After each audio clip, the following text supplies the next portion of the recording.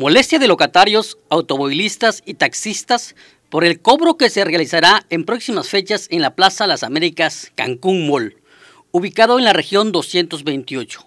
Aunque la administradora desconoció saber del tema, es un hecho que al igual que otros centros comerciales, aprovechando los vacíos legales, pero también con la complicidad de las autoridades del Ayuntamiento de Benito Juárez, cobrarán a sus propios clientes por estacionamiento. Ya se observan las entradas del parqueadero, las bases donde estarán colocadas las plumas. Aunque la administradora dice no saber la fecha del inicio del cobro, ni el nombre de la empresa a quien se le concesionó. Nada de información todavía. Normalmente cuando se hace esto se hace un contrato. Yo estuve muchos años en América y en América teníamos un contrato con una empresa porque no es nuestro, eso es como una concesión pero ahorita no me han mandado nada, entonces no sé quién lo está viendo. En el corporativo hay como 300 gentes que la verdad no sé con quién los podría yo canalizar. Algunos de los locatarios y usuarios opinaron que la medida será un golpe a los bolsillos de los ciudadanos que lleguen a la plaza, que prevén disminuya el número de visitantes y bajarán las ventas, pero que ojalá se tome en cuenta que hay que incentivar a los cancunenses que asistan a la plaza. Deberán darles horas gratuitas siempre y cuando comprueben su consumo.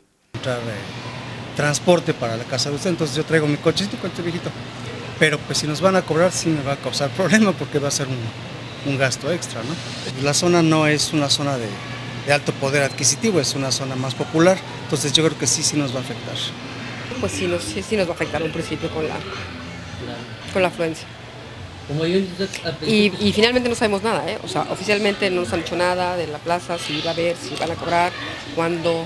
Yo estoy de acuerdo con que pongan un acceso, digamos, un tanto restringido, porque a veces sé que los taxistas también lo agarran de paso, pero, eh, pero tanto así como cobrar, o a, lo mejor un límite de tolerancia, ¿no? En tiempo, a lo mejor un sello para los que van a comprar.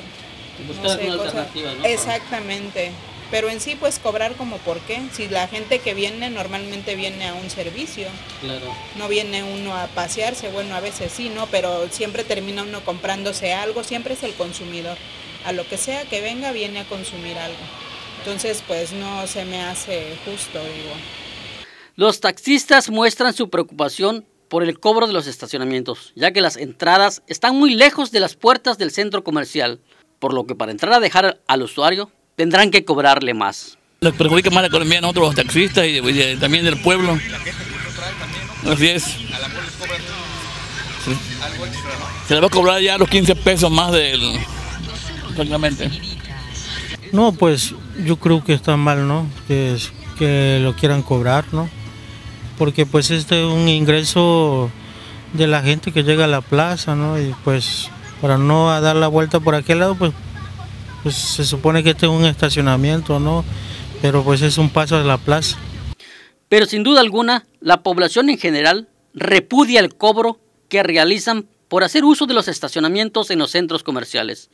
Es un robo que se hace en complicidad con las autoridades municipales, que ignoran el clamor popular, permitiendo irregularidades siempre a favor de las minorías. Y el colmo sin darle garantía alguna a los usuarios de que su automóvil estará bien cuidado o protegido. Un cobro sin garantías.